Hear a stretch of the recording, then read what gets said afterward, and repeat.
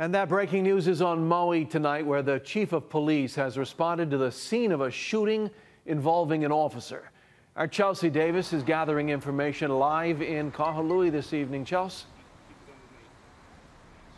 Yeah, Ke'ahi, I'm on the corner of Pu'ukani Street and South Pu'unene Avenue in Kahului. I got here around 7.30 this evening, and as soon as I got here, this area was already taped off with yellow police tape, and there were countless amounts of police officers and police vehicles here, and you can still see them coming in and out. It wasn't long after I got here that I noticed Maui Police Chief John Pelletier here on scene, and you can see him behind me. And it was moments ago that I also noticed Maui Prosecutor Andrew Martin Martin. He's just on the right of me here. That is standard protocol in officer involved shootings.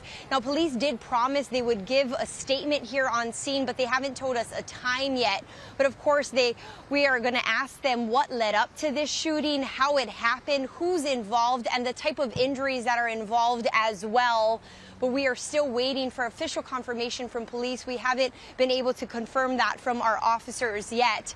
Um, but I can tell you that this area is very busy. Pu'unene Avenue in Kahului is a major road with a lot of vehicle traffic. I did speak to several people here on scene, all shocked that something like this could happen. One lady even showed up to the scene in tears here heading to the scene. So we're still waiting to get more information. We're still waiting on police officers to share what they know and what they can tell us and what they can confirm with us. But that's the latest here from Kahului. Be sure to stay with us on air and online, and we'll bring you all the very latest details as soon as we get them confirmed.